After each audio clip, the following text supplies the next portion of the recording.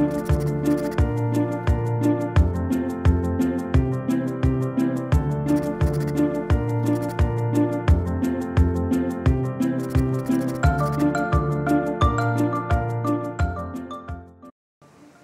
this is Armand Bergsma at Pressure Control Solutions. Today we are going to show you the ZF series from Equilibar.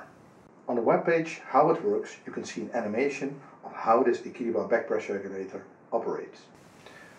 The ZF series stands for Zero Flow series.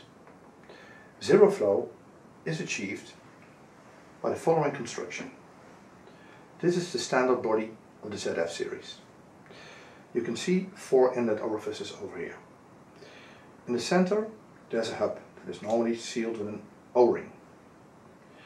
In the center there is a small O-ring with a support hub, you can see here. On top of this O-ring there's a diaphragm. The diaphragm seals directly on top of the O-ring. This enables the unit to fully close when a pressure at the reference side is applied. Thanks to this O-ring, the CV range starts at 10 E-10. The maximum CV is 0.015. These units are standard available to a pressure up to 200 bar and starts at a vacuum, like any Equilibar regulator.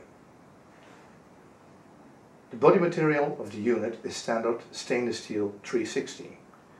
There are a lot of other alloys available, there's a special video about the body material and the wetted parts that you can find over here. The ZF series is available up to 300 degrees Celsius. The temperature range depends on the O-rings. Standard you can get O-rings like this from Viton that are available up to 200 degrees and for higher temperature we use Kalrez. Kalrez is able to be used up to 300 degrees Celsius. You can see several diaphragms in front of me. There are a lot of diaphragm materials available to use in the ZF series.